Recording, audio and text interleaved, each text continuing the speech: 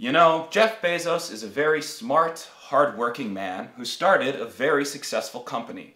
And frankly, I think he's entitled to what he's earned.